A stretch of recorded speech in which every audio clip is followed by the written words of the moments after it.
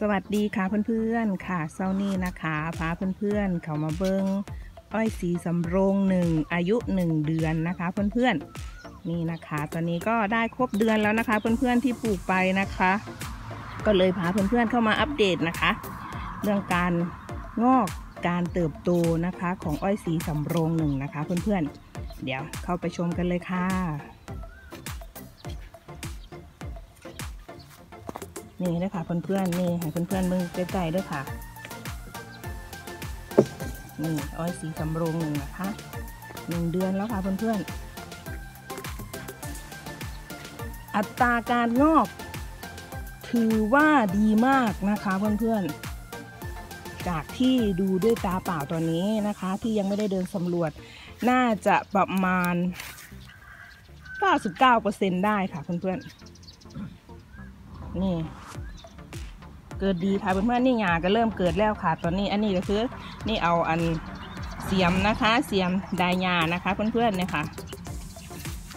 ต้องเฮ็ดไปมือละนิดมือละน้อยนะคะถ้าเพื่อนๆเขามาเบิ้งไว้สีสำโรงนึงค่ะ เกิดดีค่ะอัตราการงอกดีนะคะ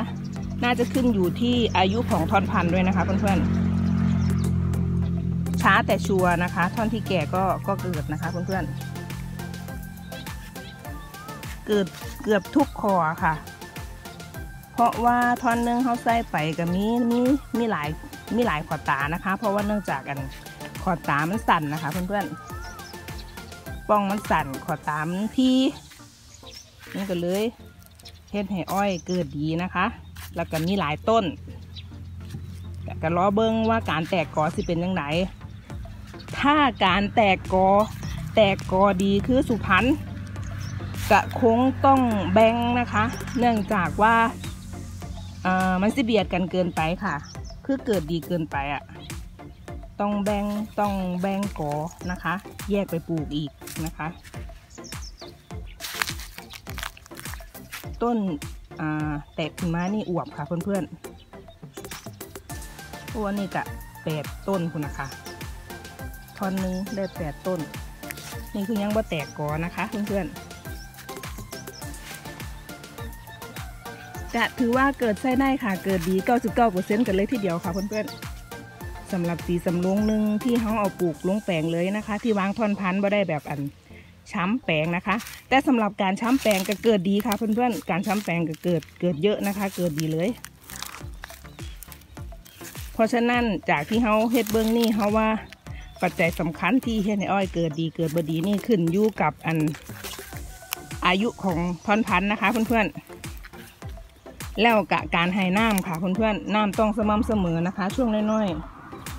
ๆ นี่ก็หญ้าหญ้าเริ่มหลายแล้วนะคะ เดี๋ยวก็ได้มาด่ายหญ้านะคะเพื่อนๆ โอ้ นี่ขวยหมดแดงเต็มเลยค่ะค่ะเพื่อนๆยางเบิงนะคะ